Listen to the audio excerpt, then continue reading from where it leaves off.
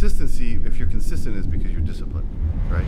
People start eating random shit and junk food when you haven't eaten it for 12 weeks, and they wonder why like they've got stomach issues and they Yes. can't go to the toilet or they get the shits Exa- or whatever. They're It's getting like- the shits. They're on stage sweating like Yeah. crazy. looking back at your career, if you look back in hindsight, would you give yourself any different advice knowing what you know now versus back then when you started? Yeah. So I didn't look at it like the odds were against me. Like a light skinned guy with braids, right? It, it made me stand out. I won the Olympia. It's crazy, right? So, and that's another thing I would always encourage all races to to compete and, and Welcome to another episode of the Shred Show. Today is sick because I've got a really good friend of mine, Mark Anthony, who is the first men's Mr. Olympia men's physique. I had the pleasure of training a couple of times and getting taught a few lessons in training out here in Vegas. Um, built a really good friendship. He's also got a really ostentatious and flamboyant dress sense similar to myself. Uh, so we have a lot of conversations like that. And he recently talked me buying to another buying another watch. So um, thank you very much for your time today, Mark. absolutely. Thank, thanks for having me on. First thing I wanted to ask you, which I think is very relevant, that covers everything fitness related and also business related, is with obviously competing at the level you have done and also having a partner compete at the level that she does, um, because your partner's obviously won Bikini Miss, Miss Olympia before. What do you think is the key to like staying calm under pressure? Individually or as like a Both. team? Both. So, pressure is something that I found that I thrive on.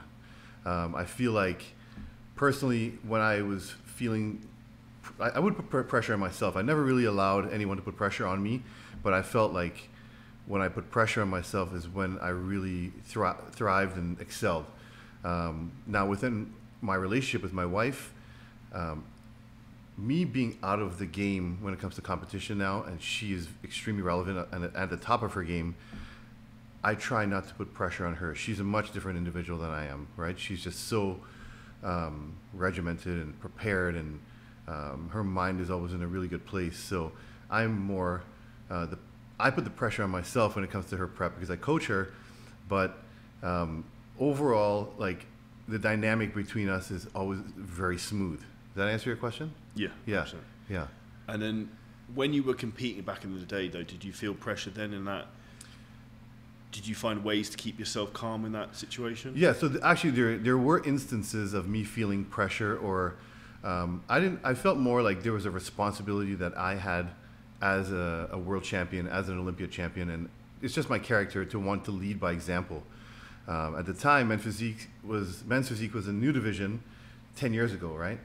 And um, when I became the champion, I, I said to myself that I wanted to really um, show and prove to the world, especially a- world of full of filled with men who are bodybuilders, that this was also bodybuilding, not just you know some pretty boys in shorts that coming and doing an ab show. I wanted them to know that we train, we train legs. I mean, at the time, you know, it's, it's, it's evolved a lot now, but the pressure I had was always just to be, you know, the perfect um, example. And of course, there's no such thing as perfect, but to me, I felt like I had to be perfect all the time for myself and to lead by example for the guys coming up.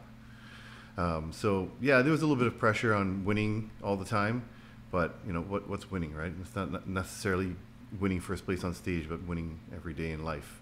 And that that to me, I really had to grow into that because my identity became being Mr. Olympia, and uh, Jennifer, on the contrary, that's not her identity. She doesn't identify with being Miss Olympia. She she's educated and um, you know she went to she graduated university with honors and stuff like that. My path was a little bit different. So this was like the biggest highlight of my life. But as I, I grew out of it, you know, things changed as I got into business and these type of things. But Did you find that difficult the year after you won and then you didn't win? Of like Oh, that yeah. transition must have been fucking hard. Oh yeah, because coming up as an amateur, I was like, there was a lot of hype around me, and like I discussed with you earlier, you know, Jay Cutler was my guy. You know, he was the one that came out and was like, yeah, this is my guy. You know, like he's gonna be the best. George Farah was my coach, and he was like, this is gonna be, this guy's gonna be the best. And with with those type of people, you know, vouching for me, that's where I felt like some pressure stemmed as well. You know, Because you have to prove a point to them, right? Exactly. I had to prove to them that that you know their investment in me and their their uh, their care and their love that I was going to exceed and and really make them proud. So um, transitioning from being, you know, the golden child, and then turning pro. When I would turn pro, man, it was crazy. It was at the North Americans. It was 2011. I was walking backstage with George Farah, my coach, and my parents, and people were, you know, in the back preparing, getting ready to go on stage. We were not on stage for another like three hours, and everyone was congratulating me already. Like, congrats, man. I'm like, what's going on here? I, we haven't even gone on stage. We haven't competed against each other yet. Why are people congratulating me? But there was such a build-up and such a hype because of this new division that was so appealing to to men that didn't think they had the genetics to be a bodybuilder, but loved bodybuilding. And at the time, classic physique wasn't available, so this was the, the thing, you know. Um, but winning three pro shows in a row after I turned pro, the LA LA Grand Prix, the Orlando um, Europa Super Show, and then the New York Pro, back to back. Going into 2013 is when they they started the Olympia. That's when I won, and then 2014 was when I was defeated by Jeremy Buendia, who went on to win four times. So yeah, it was it was definitely challenging because it was so much like, you know, moving up and and developing this division in its infancy stages that I felt like I was really part of that, pioneering it, and then to go from winning everything and being the guy to placing six was was definitely rough, but you know it, it, it taught me how to you know have some thick skin and that's just part of the game, right? And being gracious in defeat, right? Yeah, as well. It's exactly. like an important thing. Yeah, Um, because you can't always win everything. you, can, you can't always win everything. Yeah, And but I think life's like that, right? Yeah. After you're gonna have things you're gonna lose, and you have to learn to deal with it. That's right. It's just the way it is. So, and especially in a sport like ours where it's um, subjective, right? You're in front of a judging panel, and they're saying who looks better than who that day. But uh, Jeremy won, and he deserved to win. Um, I have no regret. At the time, of course, you're upset. You're a little bit disappointed. But I knew that I was going on, going to go on and do other things and to have triumph in my life. You mentioned Jay Cutler's influence. How much did he influence you earlier on in your career? Man, he. Uh, none of this would have ever happened for me. Um, of course, I, I was the one that did the work, but he he is my ultimate inspiration. He he took me under his wing. He was my friend, and that's what I love the most about him is that he's my friend. He was not like saying, you know, do this this way, do this that way. You know, we, our relationship wasn't built on bodybuilding. It was built on, you know, things that we enjoyed. Like we love cars, money. At the time, we were both single, so chicks. You know I mean? Um, and of course, we would talk, you know, about bodybuilding. But he was just a big brother, and um, he really made me. I moved to Vegas, and Vegas, as you know, is is, a great city, but you can get caught up real easily here in the nightlife and the pool parties and these type of things. And knowing that I had to be accountable to someone who cared about me, invested in me, I, I just wouldn't mess up. So people was like, "How did you go to Vegas and, and do so well?" Because there's other people that would come here, and they would. These guys were like talented bodybuilders, would just get chewed up because they got into the nightlife or partying, and it's a slippery slope. But I was so focused because I respected him so much, and I wanted to show him that, you know, I, I am who I said I was. You know, but he was, he was, and still today one of my the ultimate inspiration. Like I pay attention to everything he says and what he does very, very carefully, more than than anybody except for my wife. Did you find it? You mentioned George- George Farah was coaching as well. Did you find it difficult sometimes if you had different opinions? Say if Jay Cutler was saying one thing to you and George was saying something different, because that's obviously like a thing that happens a lot when people are in preps and coaches. Yeah. Like one person says something, one person says something else, and you're a bit like, Right. So fortunately, you know, Jay was always the one that would say, just listen to what George tells you to do and follow what he tells you. You know, that's what he's he does this is what he does. He's the best at that.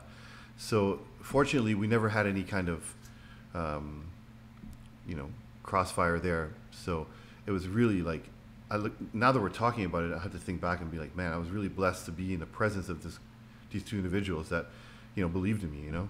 So it was it was very smooth with both of them. do you think men's physique has gotten too far now in terms of the development of where guys are at You know, you versus where they were? Like I know we spoke a bit about this the other day. yeah, we spoke about this yesterday. Um, here's the thing. I love bodybuilding. Okay, my dream as a kid was to be a bodybuilder, um, and my life took this path, and it, it, it ended up in men's physique, which I'm very proud of. But just like anything in life, any sport, any division, it's going to evolve. Sometimes it evolves for the worse or the better. I feel like it got a little bit uncontrollable when the guys were in men's physique were actually bigger than the guys in classic physique. Okay. Because there's no weight cap at the time. No weight cap at the time, which you now have implemented a weight and height cap, just like the amateur division in the pro division, which I think is going to be um, better to give athletes a fair shot that have different structures. And I have to give it to some of the smaller guys, let's say like the smaller structured guys. They've been holding their own. Um, for example, Erin Banks is the current Mr. Olympia, and he's about six one, if not taller, if I'm not mistaken. And Diogo from Brazil is about five seven or five eight, and he plays third or fourth. I can't remember. I believe he was third. So, I mean, that's that's pretty impressive, you know, for a guy who's five seven compete against a guy who's six six two and still be, you know, competing, Hanging battling, yeah. yeah, battling against each other essentially. So, um, I feel like this will will create a little bit more control. Um, the guys tend to sometimes look a little bit too muscular. Um, for me, Ryan Terry has one of the prettiest physiques. Uh, I feel like that's what men's physique really is. Same thing with Jeremy. Um, really love his physique, uh, and Brandon. Brandon's a you know he, he's he's Kind of freaky, right? He's a little bit more freaky because he's so round and so like dynamic to look at, you know. But uh, I feel like sometimes you'll see some guys. It's gotten better the past couple of years actually, but there was a point there two years ago where guys were coming in really jacked, shredded, dry, striated, and it was kind of like, well, you know, now there's classic physique, like, you know what I mean? the guys in men's physique are bigger than the guys in classic physique, Yeah. right? They, some guys in the pro guys in men's physique would not be able to compete in classic physique because they wouldn't make weight. Hmm. But I've seen the same thing with friends of mine in, in amateur who've gone from open, Yeah. sized down a bit, and then gone into men's physique, Physique, yeah. because they couldn't make, they weren't, couldn't get the size to go fully open. They're too big for classics. Right. They go into men's physique, which doesn't make any sense, right? right? Exactly. So I guess, you know, it's just, you know, you put these things into play, and the divisions will kind of fall into where they need to be. And I'm happy, really happy, you know, Tyler Mannion, the vice president of the IFBB Pro League and the NPC, um, obviously the grandson of Mr. Jim Mannion, who's the president. Two gentlemen that I have tremendous respect and love for. Um, Tyler has been, you know, he's he's younger, so he's implementing some great systems and procedures. Um, not that anything was wrong before, but you know, like these things like the weight caps and the the, the height. Um, he's implementing these systems where it's going to be, I think, a little bit more organized. Yeah, 100%. yeah. Now, obviously, you've been very successful as an athlete, which is obviously undisputable. You're also very successful as a coach. What would you say your optimal peak week strategies look like with clients? um, for for a client in Yeah. peak week. So optimal peak weeks, I feel like this is where people. Can I curse on here? Yeah, you say whatever. it's why I like podcasts. You say whatever you want. Yeah. It's- Uh, it's free speech. Yeah, I feel like this is where people really fuck things up because the term peak week is a fairly new term, right? I'm 40. I'm going to be 44 in November, so I, I consider myself. But it doesn't look it. Old school. Yeah. um, I went to the barber and I got my gray hairs. Uh, I'm asking for his skin routine. yeah. Um, so, you know, people will prepare with certain types of food groups. Um, they will play with their caloric intakes and their macros. Their digestion is working well. They're getting in shape. They're looking sharp. And then peak week comes around. Then they want to deplete and load and use potatoes and sweet potatoes and gummy bears and all these type of things and just derail their digestion and wonder why they're either holding water or looking soft or their their stomach is bloated. Um, optimal for me is really paying attention to my client's digestion. What types of quantities of certain food groups are making them hold water or look drier, and knowing the difference between body fat and water um, what types of carbohydrates are most efficient for them to get fuller in the tissue with glycogen. So we keep. I personally keep all the food groups that have been ha- we've been having success with, and I just really play with the portion sizes of it. Does that make sense? Hundred percent. Yeah. And for me, it's so like logically fucking retarded where people start eating random shit and junk food when you haven't eaten it for twelve weeks, and they wonder why like they've got stomach issues and they Yes. can't go to the toilet or they get the shits or exactly. whatever. They get like- the shits. They're on stage sweating like Yeah. crazy, right? Um, so like for me, for example, I remember when I competed last year that I was just ending up carving up on like cream of rice and Yeah. rice cakes and just as much of that same shit I was Clean. eating before, but just more of it, right? Right. And then you know you're not going to have an issue in terms of like having a weird reaction to anything that's going to throw you. Your body's familiar with it already, you know. And I'm sure you've done tests along the way where you increase your carbs to 500 one day when you were doing 100. So the body is accustomed to this. It's familiar with what's happening.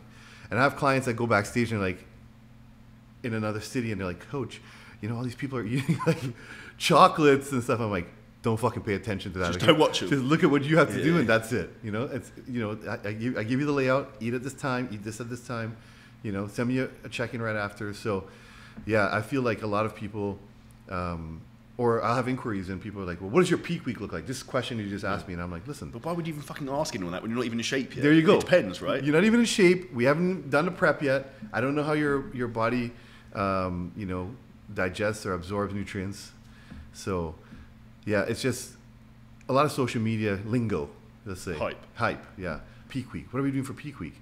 Or even like you know with drugs and gear, people are like, I I, I do inquiries um, with guys who are super young, and they're like.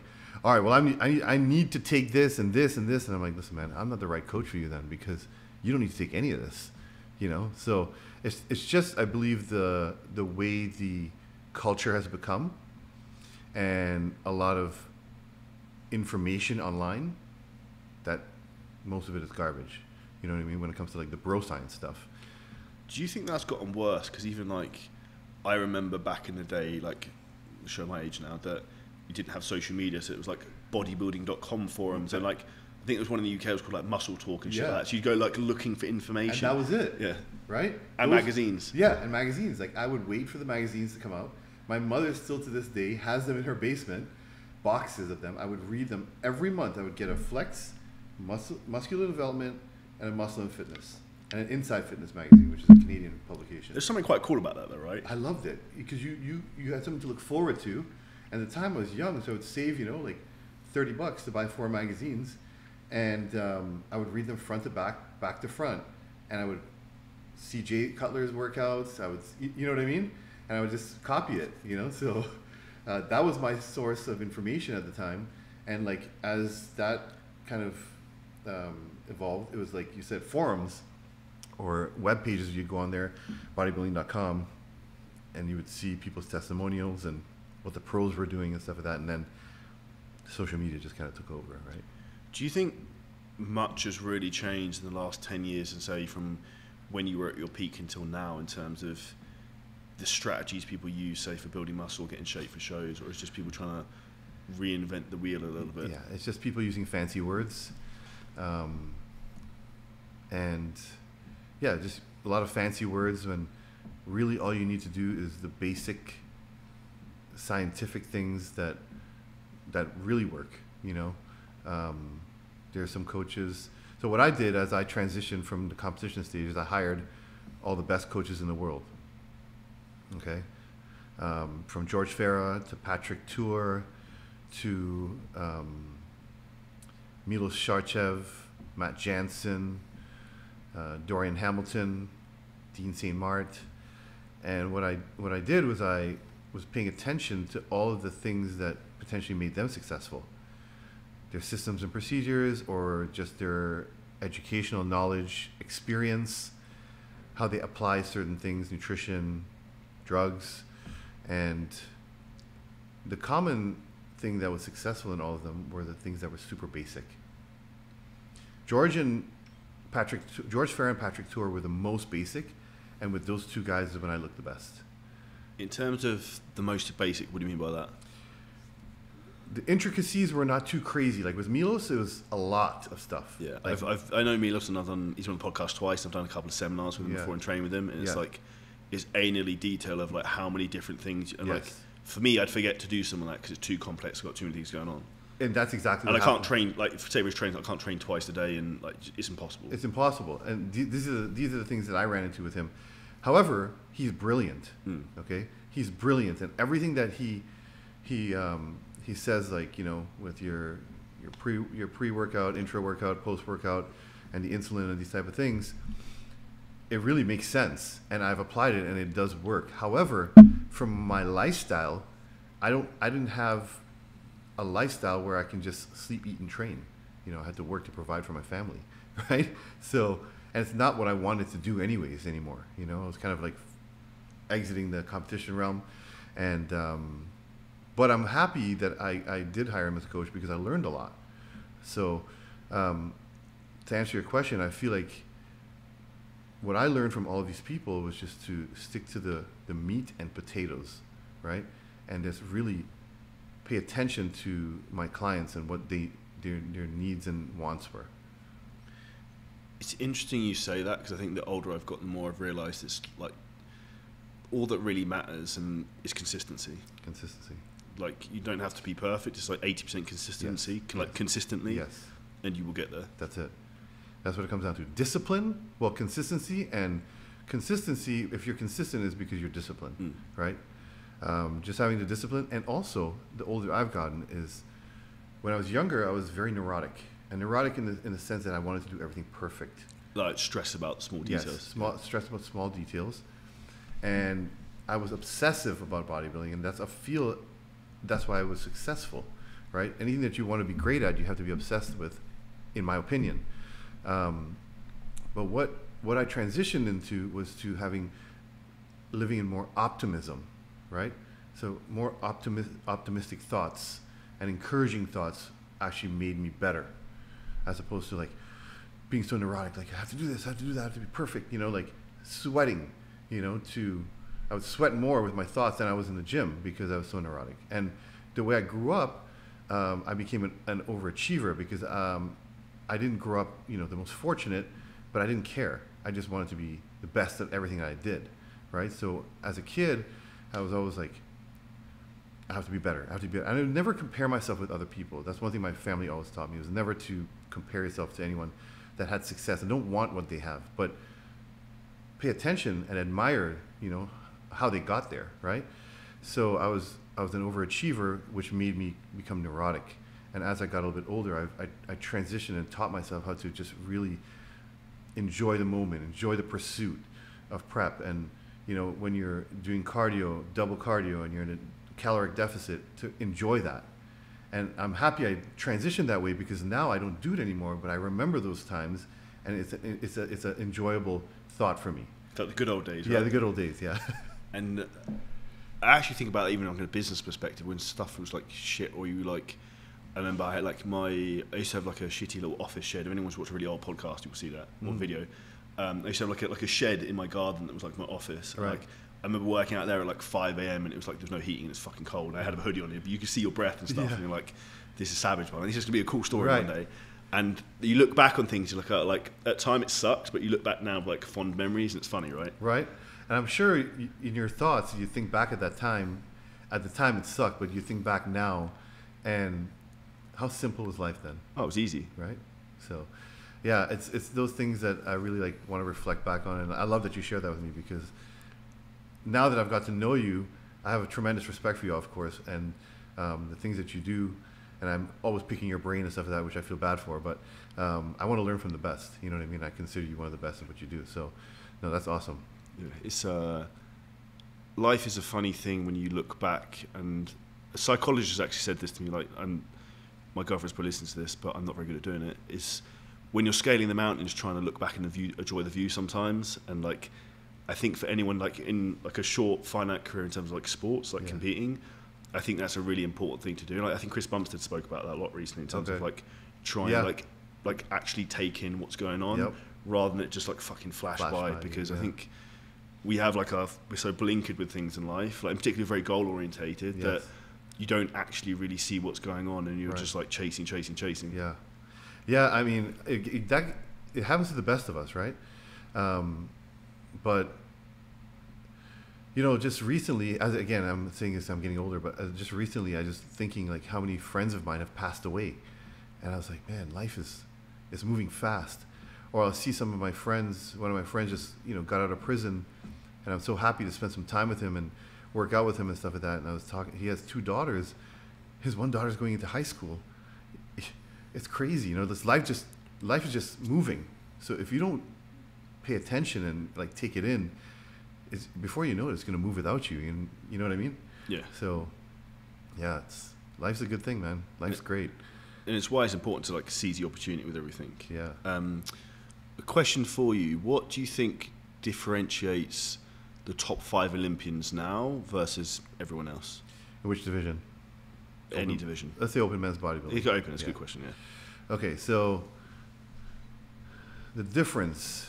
Um, well, I might get chewed up for this because I'm not an open men's bodybuilding competitor, and I never, I, I- I never competed as an open men's bodybuilder as a professional. But from my observation, and as someone who really loves bodybuilding, um, and I've been in this game for a very long time, probably longer than most of the guys on stage right now. Um, I'm fortunate to have become really good friends with a lot of guys who are my bodybuilding heroes. Jay, of course, Jay Cutler, um, Chris Cormier, who's a very dear friend of mine. We spent a lot of time together. Um, Dexter Jackson, Flex Wheeler.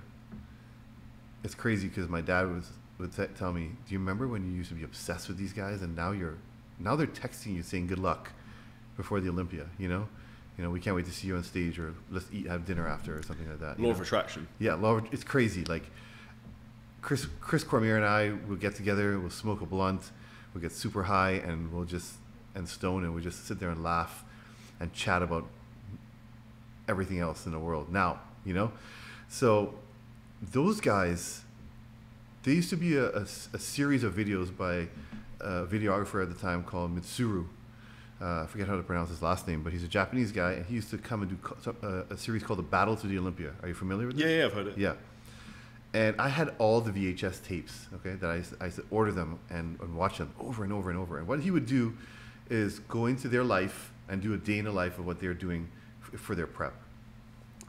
So, and you know, modern day bodybuilders are doing that as well. I just feel like the guys back in the day, you know, because you see on social media people saying like the guys were better back in the day, and um, I just feel like they were a little bit more hardcore back in the day. You know, now guys are more concerned about how they look on camera, and back then it was just like I felt there was more camaraderie. You know, uh, I'm also friends with Kevin Levrone today. I love that guy. He was one of my favorites as well.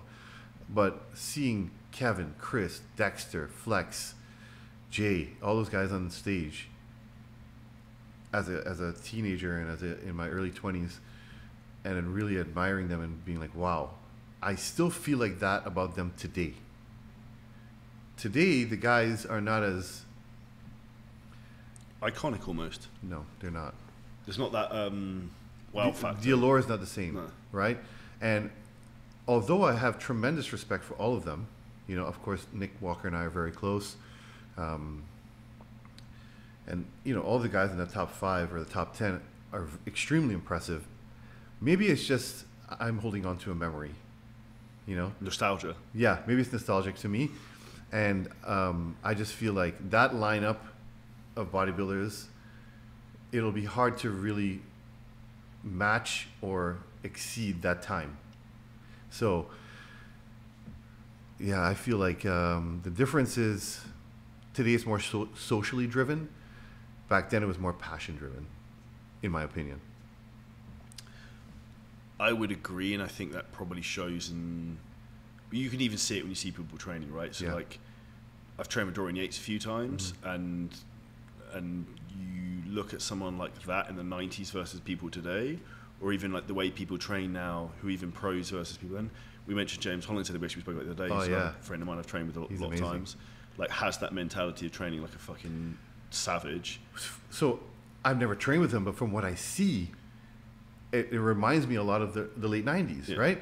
And you've But- trained with him. Yeah, and it's just straightforward but hard shit, right? It's no complicated stuff. No complicated stuff. no like all these angles and stuff like that. He's just getting in there, getting the job done, and um, p- putting in the grit, putting in the work, the hard work. Um, I've been fortunate to have dinner with him, and he's a lovely guy. And it, I just you know seeing him outside of the gym and then in the gym, it's just he's just a monster. He's a beast. So Dorian Yates, I, I can't imagine what that was like to train with him. I know Chris Cormier used to train with him a lot, and he said it was insane. Um, I, I don't have a relationship with him or Ronnie Coleman, two of the greatest Mr. Olympias ever. But look look at how they used to train. Look at look at what look at what the things that were important to them. You know what I mean? It's just different today. Interesting conversation with that though, um, being your good friend with Jay Cutler, because I think there's a lot. It's like, I think everything fucking works to some degree. Because if you look at say the way he, Jay Cutler trained, Mhm. higher volume, never to complete failure, Yeah. never like like heavy, but not like retardedly heavy. Yeah. You look at the other two, like Dorian and Dorian still was very good form, but like Ronnie's, like just fucking as heavy as you could. Yeah. Very different situations. But you look at if you look at Dorian and Ronnie, respectfully, not in greatest shape, Right. um, versus Jay now. Again, we spoke, we touched on that yesterday, just in our conversations. Jay is healthy. Jay, you know, I asked him the other day. I said, "You don't have any joint issues?" He's like, "Nothing." And I think it's because today people will tell you you have to train like this, so people want to train like that, right? Um, what Jay really was zoned in on is that he understood his body and the, me- the mechanisms, how it worked. So he trained how he felt like it was safe and optimal for him to grow. And I remember him saying to me that, you know, people always talk about his form and all these type of things. And he trained that way all his life, succeeded tremendously, and has no injuries today. Right?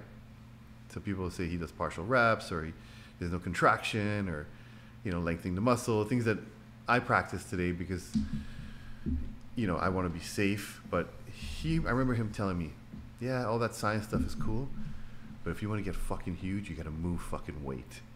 Right? So, I mean, he's, he's showed and proved. So, what he says goes, man. It's uh, sometimes not what you know; it's what you can prove, right? Yeah, exactly. I think it's a valid statement for a lot of things in life that gives context. yeah. What would be looking back at your career, if you looking back in hindsight, would you give yourself any different advice knowing what you know now versus back then when you started? Yeah. So, I mean, I wouldn't really change anything because I'm very proud of how I did everything. But I,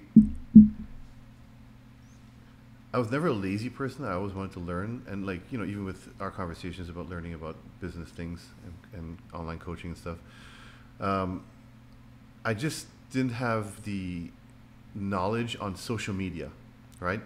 So after I won, I felt like the younger guys that were coming up were more savvy with social media and filming and YouTube and these type of things, and I slept on it, which was a huge error on my part.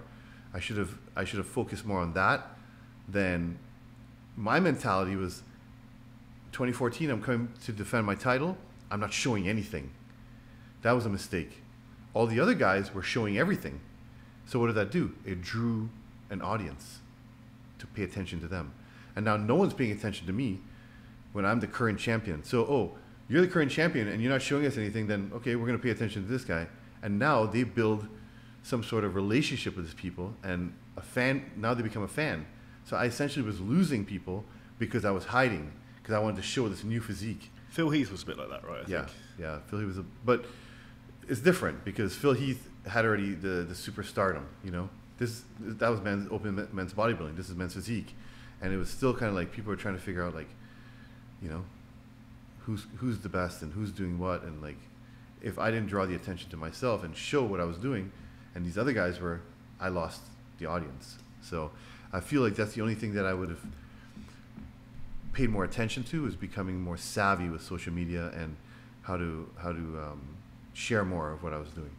Do you? So an interesting conversation from there. Bear in mind your wife um, was Olympic bikini champion. Do you find a lot of the lessons you've learned, the life experience you have, you try and instill in Oh, her for now? sure, for sure, for sure. And fortunately, well, she's a lot younger than I am.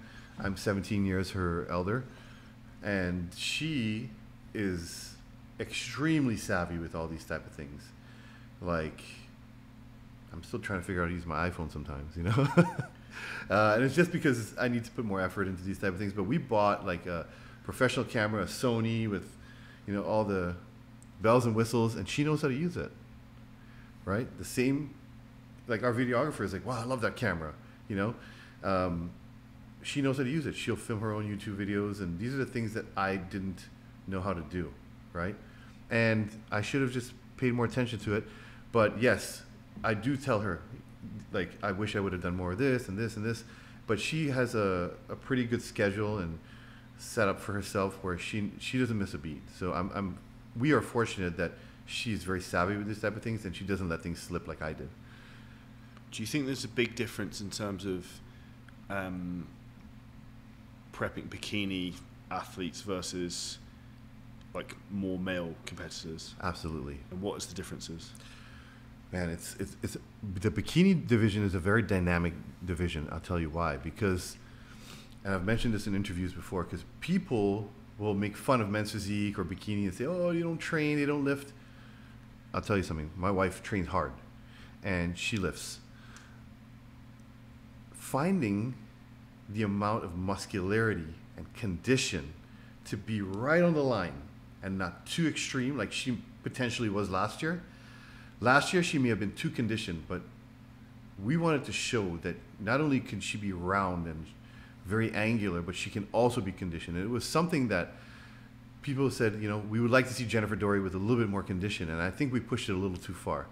However, it's a physique that we're both proud of, and she's very proud of, that she was able to show and prove that she can be separated and she can be peeled. Now,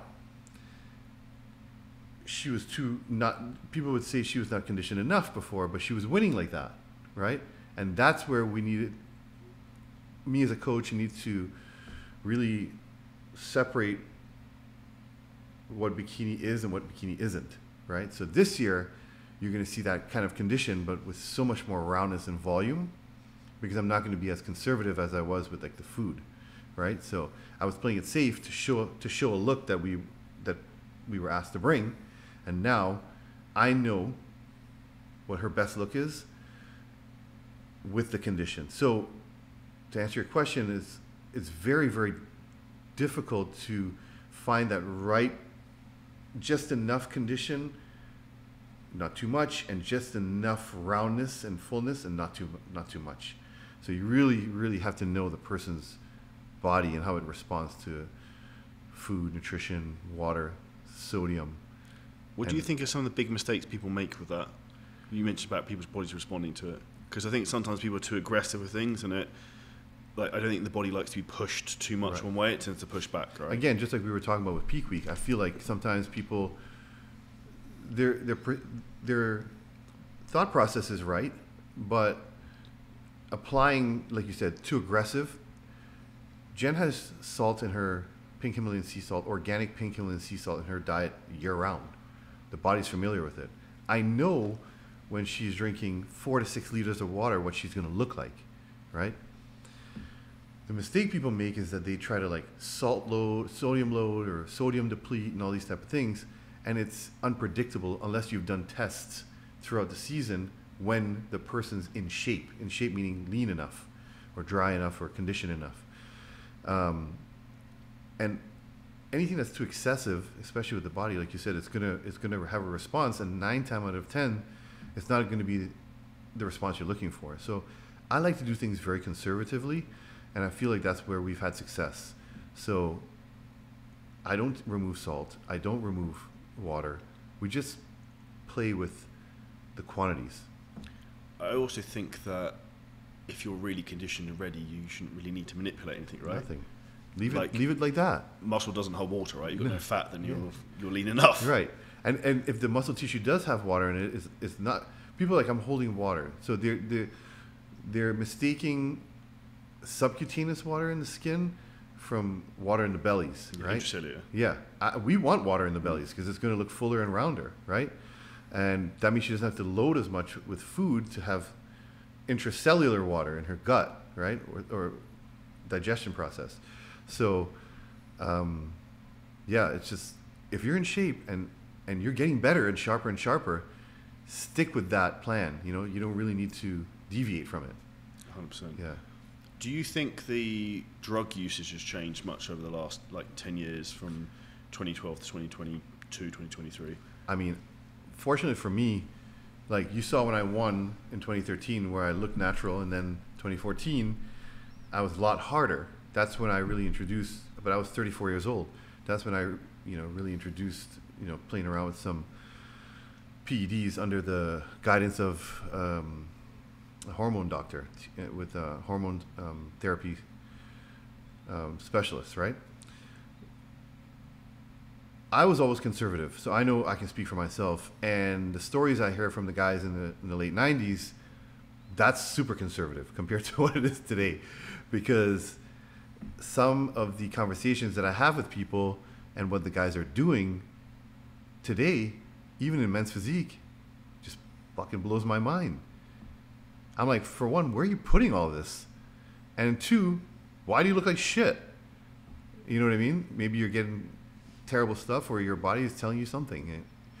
Uh, yeah, I just feel like today it's just it's one of the the topics that are in the forefront of the conversation. It's like, what am I taking or how much am I taking? That's like the first thing people want to know. What's the like supplement First thing, protocol, right? first thing. Rather than what's the training and nutrition, First thing.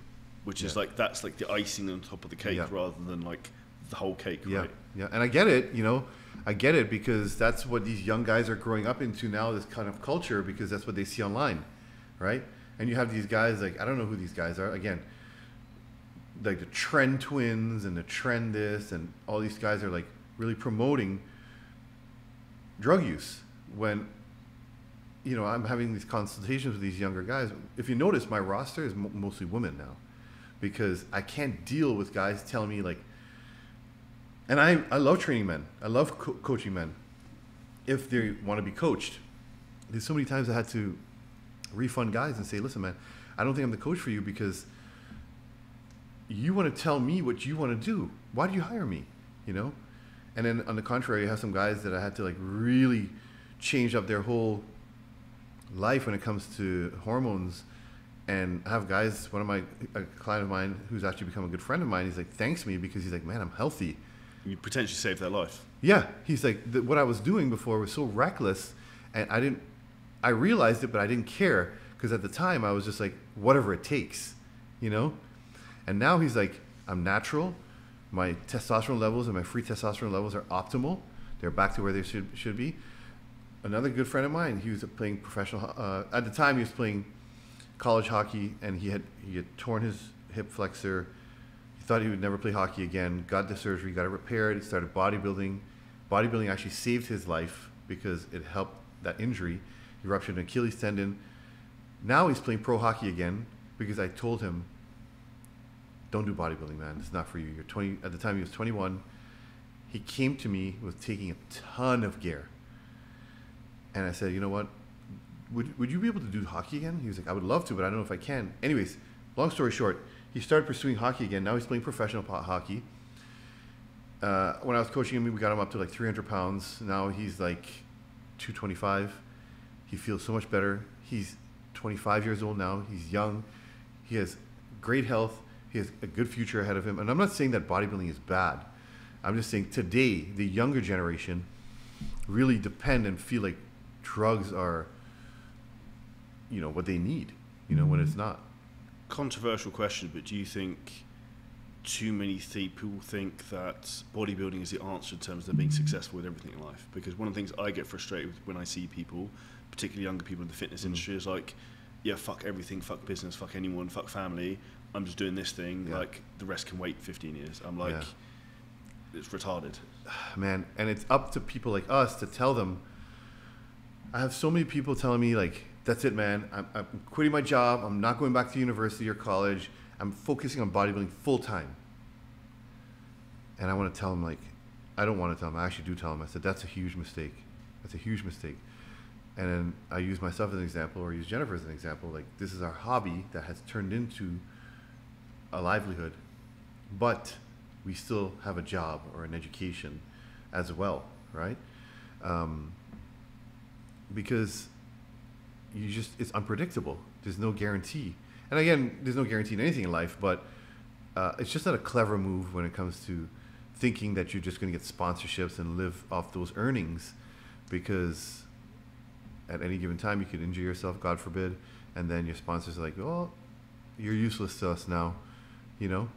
So I really try to encourage younger people or people that are coming into the sport, doesn't matter how old they are, um, to do this because you love it and to learn about nutrition, learn about training, exercise physiology, and um, biomechanics and nutrition, and um, learn about your body. You know, to be op- to be optimal, right? And carry these these um, systems and procedures along the way, so you can be a better person, even if you don't want to compete anymore. Like I still apply the things that I did with like eating every three hours, you know, doing a certain amount of cardio work, lifting. Like I love lifting. We had a great arm workout yesterday. My arms are super sore. Thank you, by the way. Um, but just to not like lean on this fully and think that is a glorious life because you must be looking at too much social media because the things that people are portraying on social media, like I mean, unless you're Chris Bumstead, okay, um, then you know the rest is kind of a fairy tale, man. Like you, you gotta like you gotta have a job you should go to school, get your education, and treat this as a hobby that you really love. I also think as well if you treat something like a job, if something becomes a job, you start to dislike it. Oh, for sure.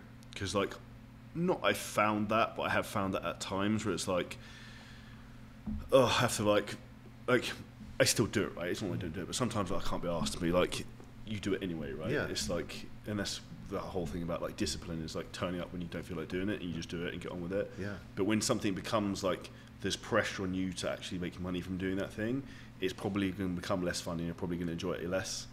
Of course. I mean, remember, bodybuilding is there's an expiration, right? Like, there's always a new younger guy that's coming up or a new younger girl that's coming up, and you just have to know.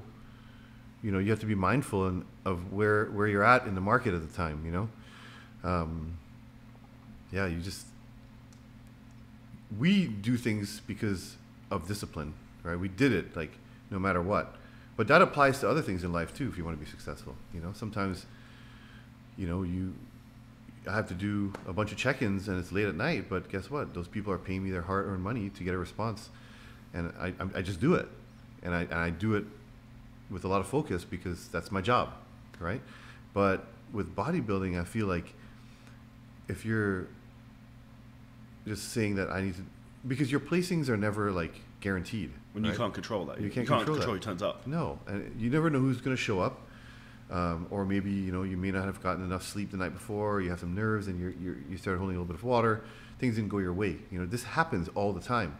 So unless you're making like crazy amounts of money, and then you have to just focus on bodybuilding, like someone like a CBum. I'm, I'm, but he's doing other business things on his portfolio that people may not see.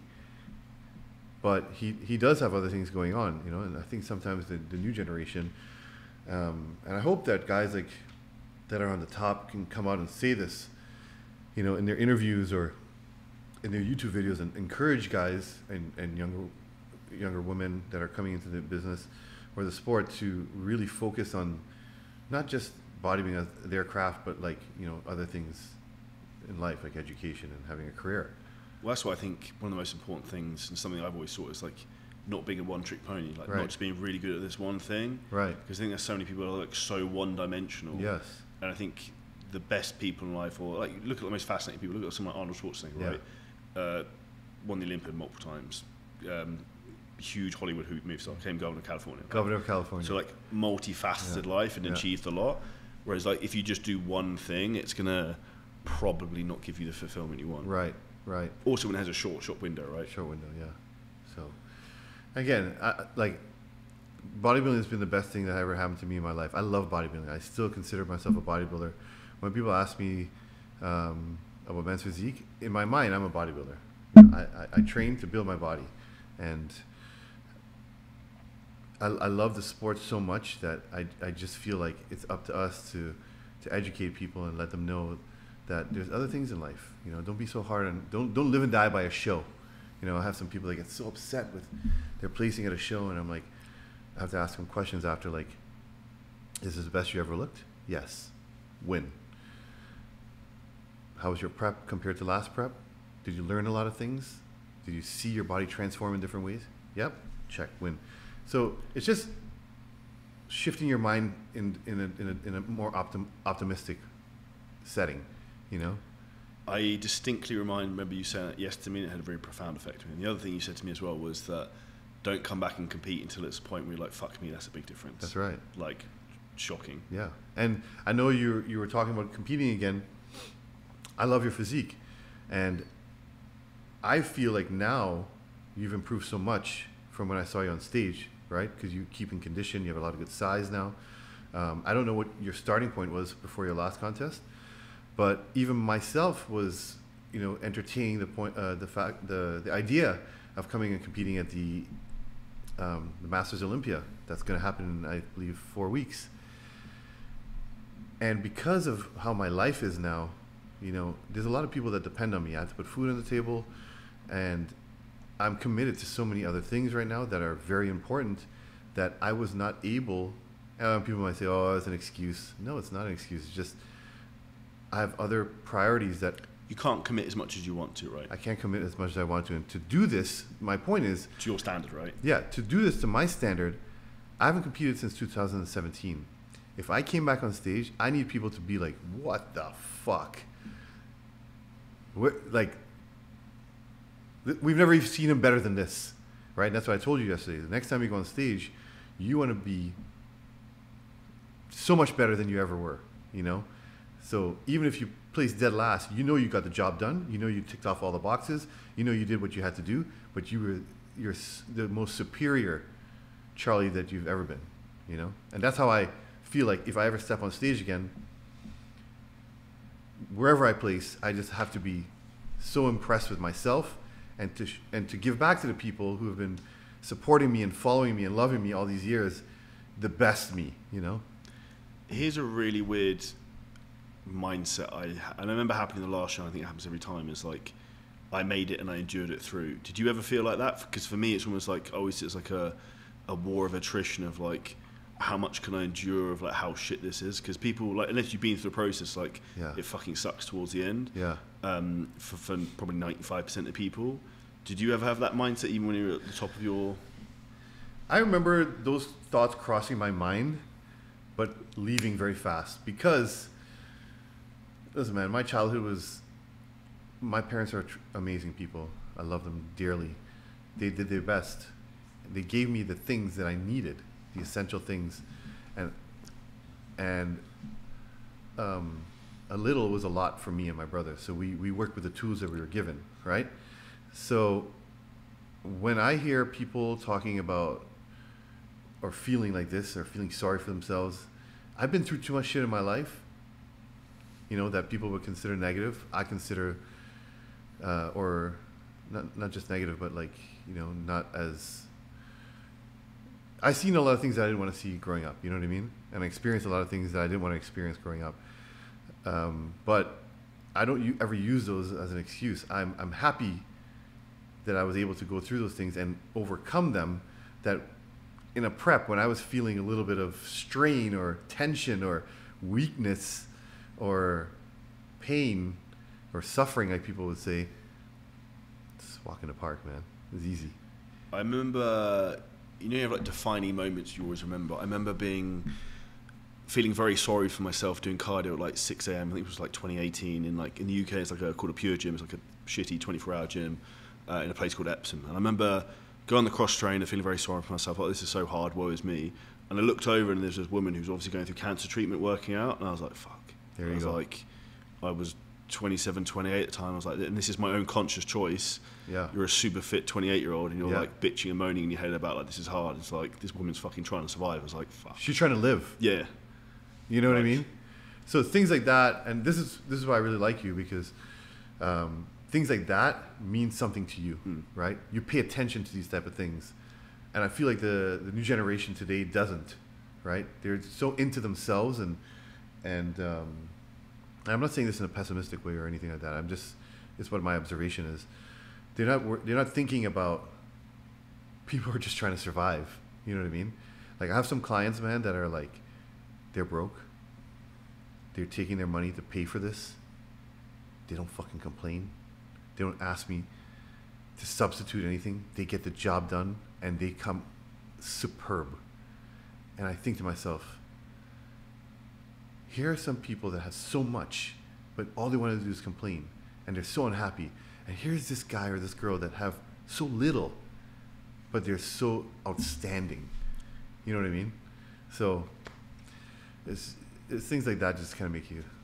It's a paradigm shift, and I think that's also one of the things I think I love about traveling is because it gives you a lot of different perspectives of things in the world. Because now, for example, me living in Dubai, you end up with a very warped perception of the world. I remember saying to this US about Yeah. supercars, like Yeah. supercars really don't really interest me anymore Yeah. because you just see them like you see it all the time. every other car. That's Yeah. cool, whatever. That's another Lamborghini. That's nice. Um, and we love cars. Yeah, yeah, like You know I like cars. Yeah. I love cars, but like I'm just less bothered now because Yeah. you see them all the time. Yeah. And that's the perception thing because that's the world you're in. And Sure. then when you start to travel to other areas and you see maybe people who are less fortunate or like homeless situations, even like driving through LA, there's a lot of homeless people and Yeah. stuff like that. Yeah. Again, it reminds you of like how fortunate, fortunate you are. Mm. Yeah, and it's like you know, sometimes I get a little bit. Um, I don't want people to have the impression of me. I really don't care what people think about me, but I don't want people to have the impression of me that I'm superficial. Um, I love fashion, you know. I wear silk clothes, man. You know, silk Versace clothes, and it's something that I loved when I was a kid. You know what I mean? Like looking at the Rock and silk Versace shirts, and um, I'm eccentric with my jewelry and these type of things. It's because I didn't have it before, and now I can, I can have it because I earned it, right? And my my goal is to show people that just because at some point in your life you don't have something doesn't mean you can't have it one day if you're not focused and work hard, right?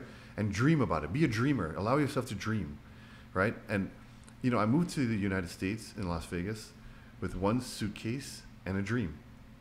I tell this story often because people don't people saw that I became friends with Jay and that I was like a star immediately. How did that come about? With Jay? Yeah.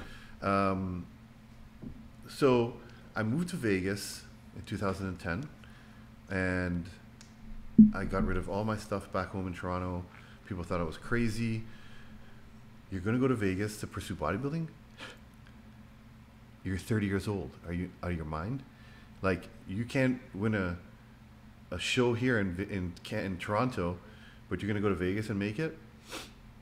I said, yeah, I'm going to make it. I'm going to go there and I'm going to try my. I really don't like using the word try, but I'm going to go there and I'm going to make shit happen. Okay, and I've always been good with networking and um, I just love talking to people.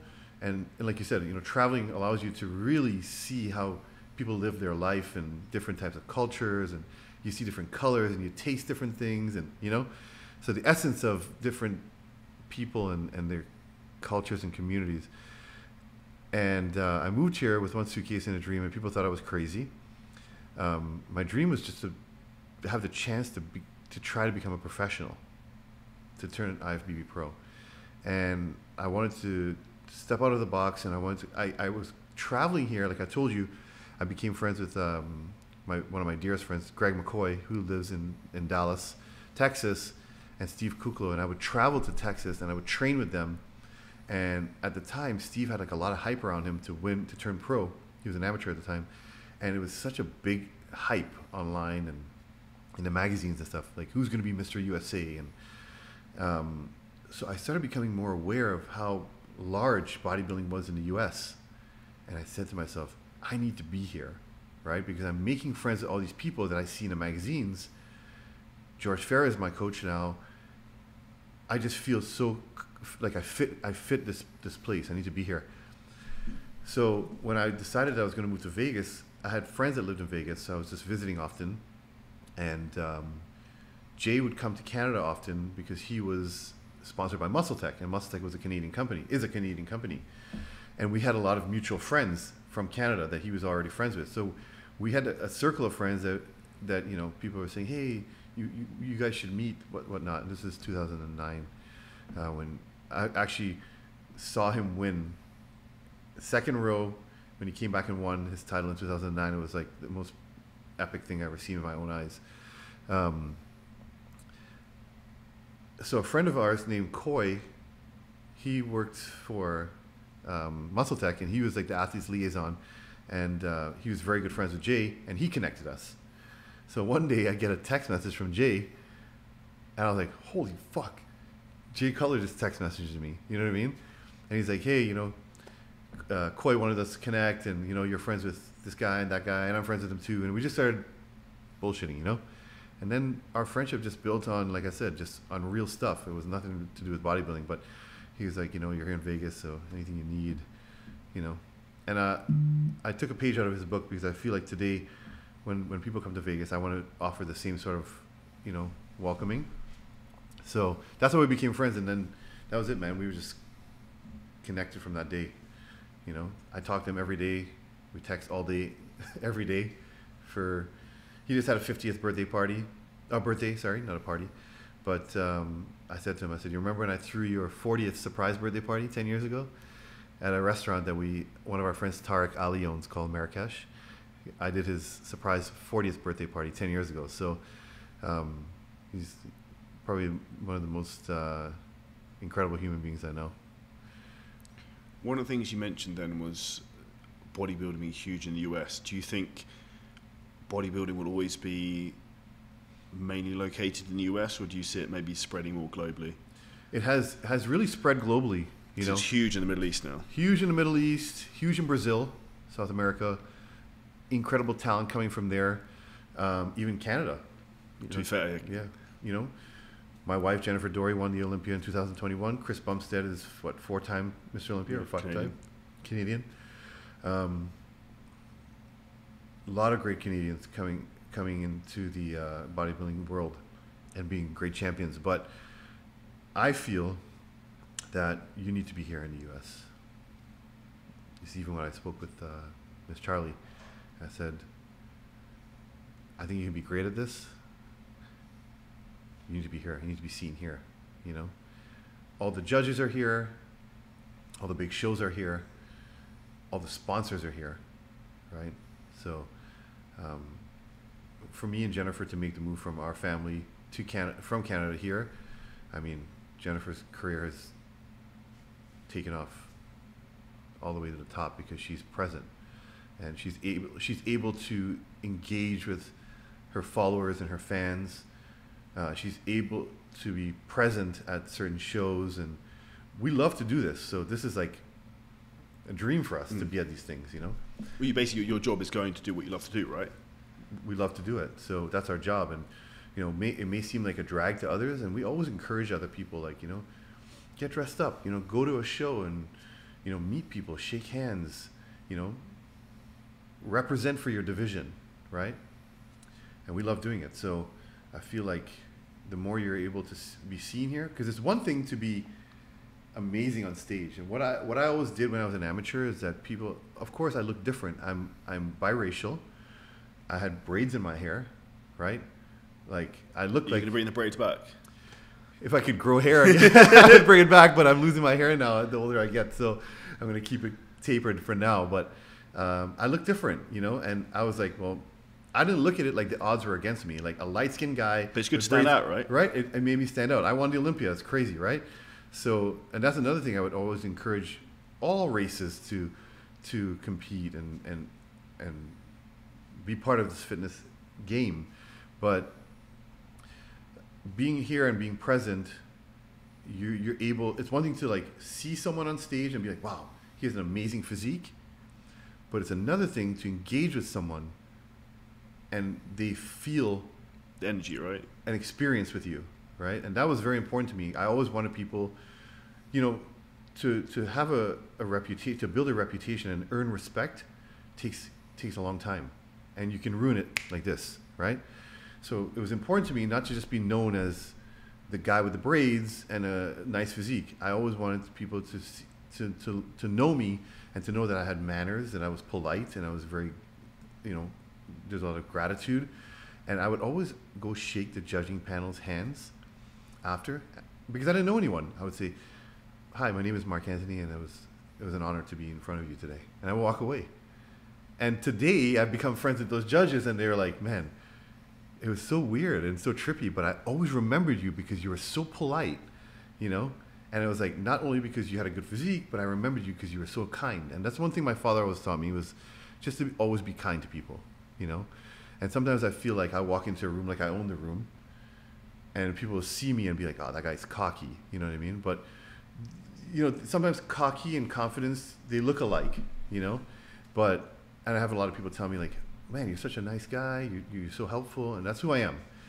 But um, I always wanted people to, to, to, to engage with me so they knew that I was a nice guy and I was polite and I had manners. It was important to me. For me, that's the most important thing from anyone, and I think it's why we get on so long. And the amount of times I've referred to you almost protecting other people that we know mutually in terms of like they're my friend yeah. is a really nice endearing thing to hear because I don't think you see many people doing that now. Right. In particular in the fitness industry. Yeah. Um, and like the way you want to be treated is the way you treat other people right? Always. so it comes back. Yes. Which I think is something people really miss now. Yes. I, it, it's just you know people call it old school.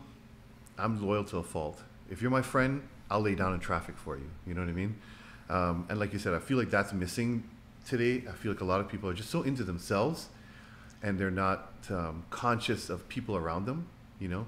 I even see that with sometimes like spouses that I'll be coaching someone and the spouse is just so catering to the person that's competing and the person that's competing is just not grateful at all. You know what I mean? The way they, I sometimes have to take them aside and be like, hey, listen, like this person has your back. This person wants you to win this person is doing everything to make you happy. So have a little bit of kindness and respect for treat them. That's someone that's that's your part your partner. Um, what I've what I've observed now is just like people are just like they just want to run over everyone. They don't care, you know. So when I speak about my friends, and you've probably observed, or people that I, I, I admire, respect, you know, it's not that I'm trying to protect them. It's just that I want what's best for them. Yeah, always. I want I want what's best for I want people to be happy. You know, if I can, if I can add this much happiness to your experience with me, then I feel accomplished.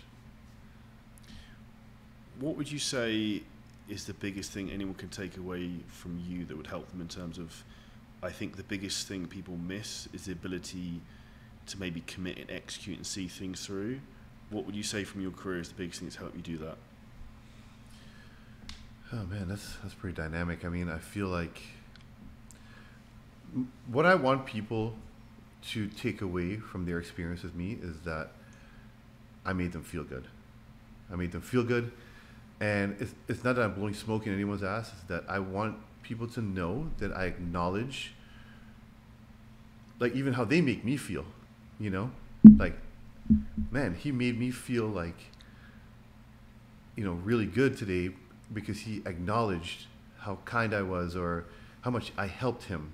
You know, I want people to know that I'm grateful, and um, I want people to remember me for being like a humble and to see my humility. Last question: What would be the best piece of advice you'd give me? You? Yeah.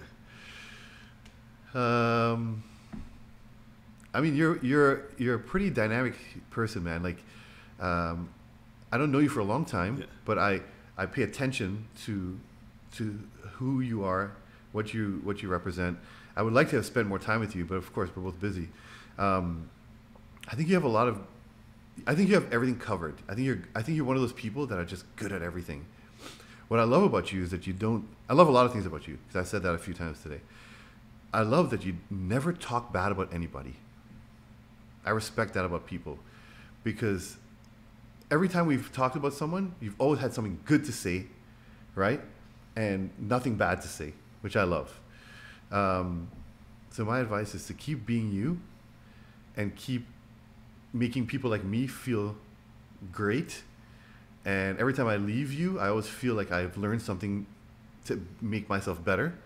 So keep rising and always keep being yourself and move to the US. The US thing I'm working on, but yeah, I don't want to pay taxes. So. I'm, I'm, trying to logistically work that out. But yeah. if anyone has any tips, drop me a message. Um, really appreciate your time today, Mark. Thank you so much. Um, For everyone, I'll drop Mark's details below the podcast so you can check him out on Instagram. Is there anywhere else to find out more about you? I'm mostly on Instagram. Okay. Yeah, Uh, so, what's your Instagram handle for anyone listening? it's Mr. O Mark Anthony. Go easy. So if you guys love the podcast, make sure you smash the like button if you're dropping it, watching this on YouTube, subscribe, Jump comment on any questions and make sure you share this episode with a friend and we'll see you next episode soon.